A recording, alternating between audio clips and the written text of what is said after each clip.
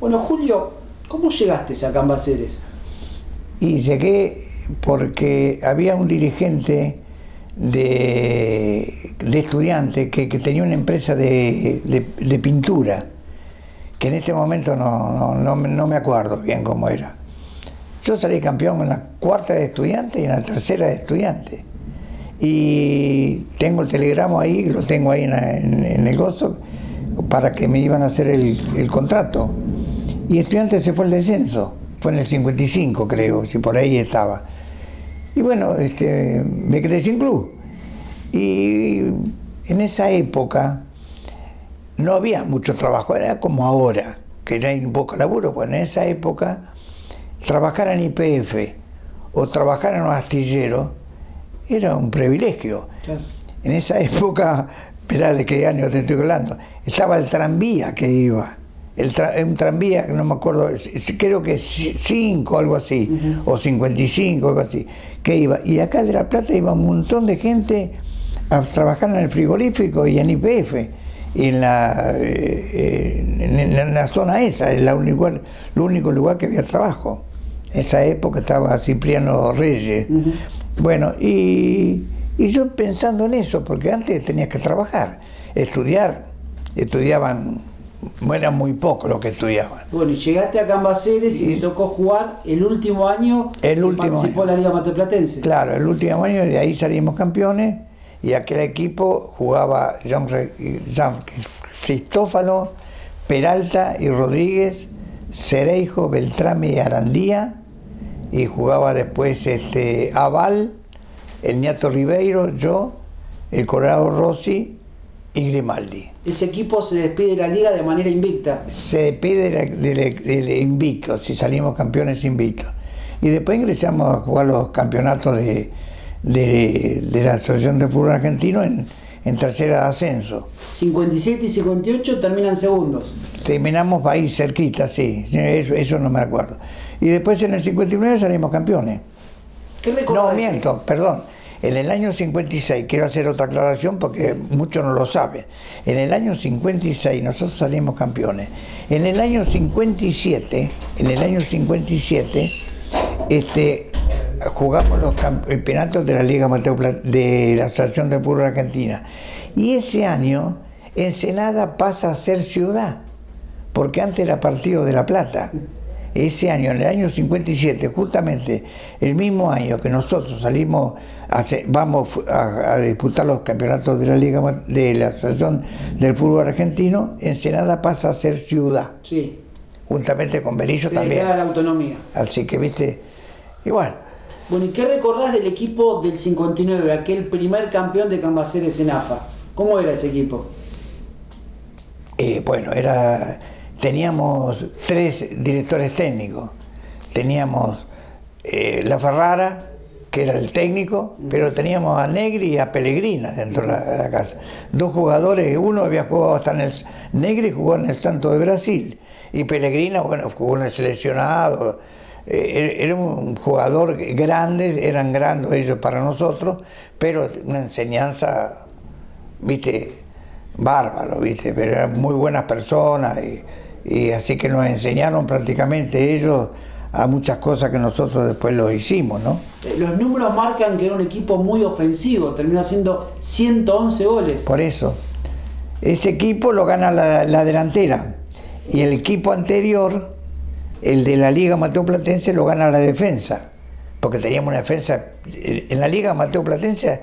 Yo no sé qué pasó después, por qué nos siguieron ellos eh, jugando con nosotros se desarmó todo la, defensa, que fue, ya te digo, particular. Y ese equipo del 59 ganó el campeonato con mucha diferencia respecto al segundo que fue italiano.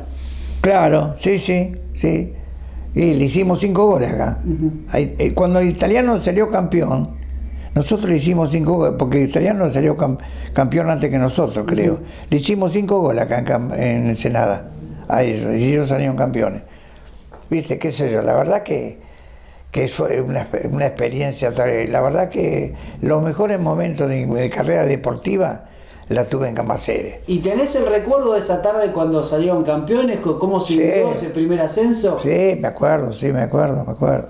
¿Cómo me acuerdo. fue? Me acuerdo, no, dimos la vuelta olímpica, me acuerdo, no, fue lleno de gente, cualquier cantidad. Mira, la verdad, cuando llegamos nomás a la cancha, porque eh, eh, ese, ya no me acuerdo bien si, si nos concentraron o, o creo que los concentraron ese, ese, el- el- eh, un, día, un día o dos días antes. Y aparecimos nosotros, era la cancha de Cambacén estaba llena, pero era una cosa de loco. Y nosotros, viste, un susto bárbaro teníamos, porque, viste, yo no, al menos nunca lo había vivido eso, viste, nunca.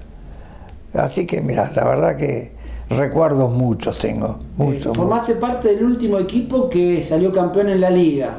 Sos el primer campeón que tuvo Cambaceres en AFA, pero no solamente eso. Sos el máximo goleador de la historia del club. ¿Qué Ah. Significa para vos? No, es un orgullo bárbaro, la verdad, un orgullo, viste, viste, qué sé yo.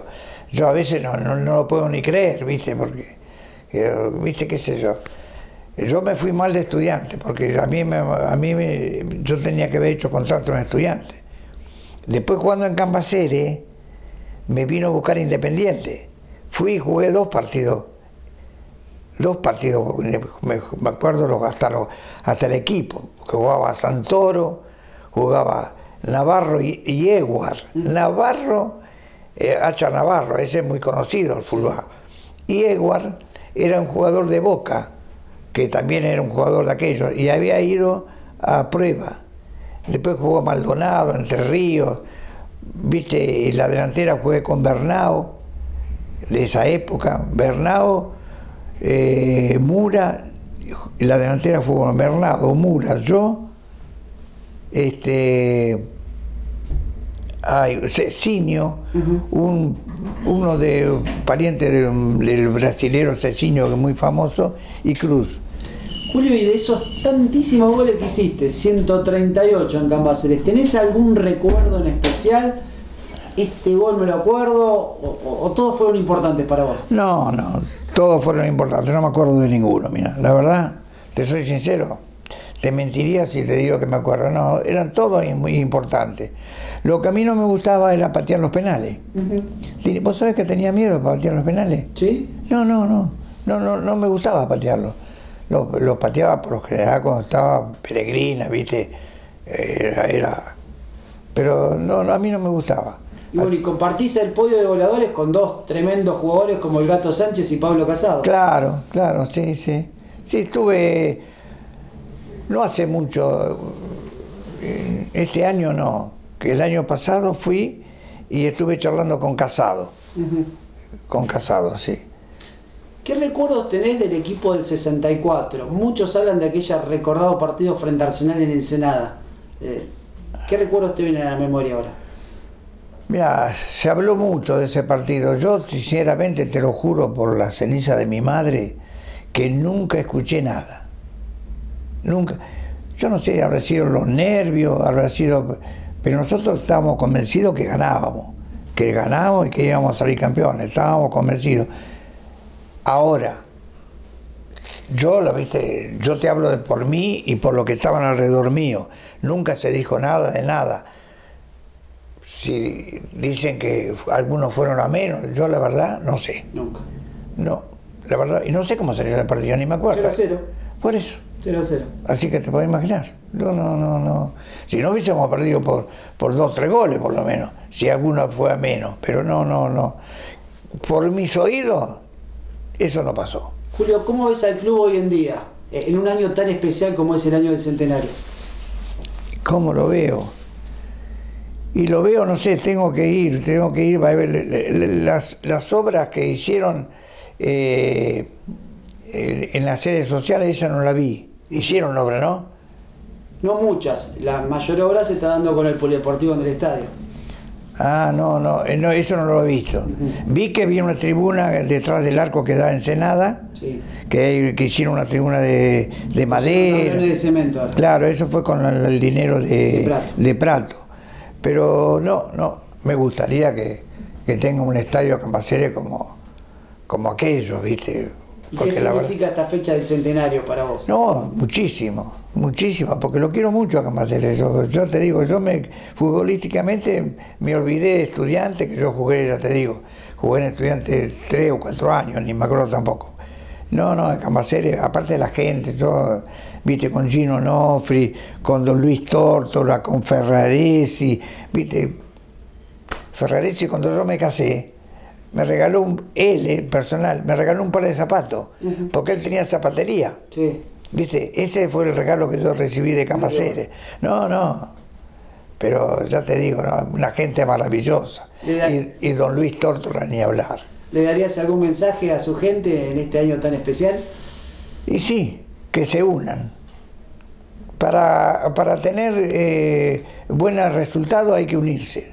Solo, separado, que se, separan, este habla mal de este y este habla mal de este. No, hay que unirse. Cambaceres no es para que tenga dos comisiones directivas o que dos o que dos quieran ser este, la comisión directiva. Cambaceres tiene que ser unido y todos tienen que ser unidos. Vos fíjate, el, cambiando Cambaceres poniendo un poquito de la política. Se unió el peronismo eh, en la otra elección y ganó las elecciones. En estas elecciones tuvieron desunidos, perdieron. Es así, la política es así. ¿Te gustaría que el club crezca más o que haya crecido más en todo este tiempo? Me gustaría que crezca, que crezca, que la nueva comisión directiva que viene ahora, que, que haga obras, si se puede, ¿viste? No, no es tampoco pero tienen un apoyo ustedes de Mario Seco, tienen, una, tienen un apoyo, ese, ese es un fenómeno. Ese, ese te digo que yo no sé mucho, ¿no? pero por lo que, lo que ha hecho en Ensenada, no lo hizo nadie, no lo hizo nadie, también no tiene muchos años Ensenada, pero es un fenómeno, es un fenómeno, esos tipos tenés que tener, esta gente tenés que tener. Ojalá que que tuviera un cargo en la política, si, si fuera... ¿Puedo hablar un poquito de política? Como quiere. Yo digo que este presidente, yo soy de este partido, ¿eh? yo soy peronista, te digo, de toda mi vida. Pero este, este presidente no tiene agallas, le falta, le falta. Hay que ser un poquito más... Más fuerte. Así, como es, como es Mario Seco. ¿Ves cómo es, cómo es? Fíjate, nada Vos sos muy joven, pero yo conocí a Ensenada. ¿Tiene que crecer el club como creció Ensenada? Pero claro, claro. Y él la puede hacer, ¿eh? Él sí, ¿eh? Hablo bien de, Seco porque le tengo mucha simpatía, porque es, es, una persona... Yo hablé una sola vez con él, ¿eh? Lo hablé acá en el Club Chacarita Platense cuando vino eh, Rodríguez Sá, eh, que era de Córdoba, que es donde miércoles, vino ahí y estaba él. Y mi nieto, y mi nieto es es un fenómeno, porque, viste, bueno, salió a mí, viste, no, no, no, no, goleador, no goleador, pero es un muchacho bárbaro, viste. Julio, te agradezco estos minutos, sos un, bueno, un mito viviente de Cambaceres y el club te debe mucho a vos. Sos la persona que más veces hizo gritar a los hinchas. Sí, 138 goles no hace cualquiera. Y sin contar los, los, amistosos. ¿eh? Los amistosos y los partidos de la liga. Sin contar eso, sí. Gracias, Julio. Bueno, querido. Fenómeno, gracias a ustedes por... ¿Quieren tomar un cafecito?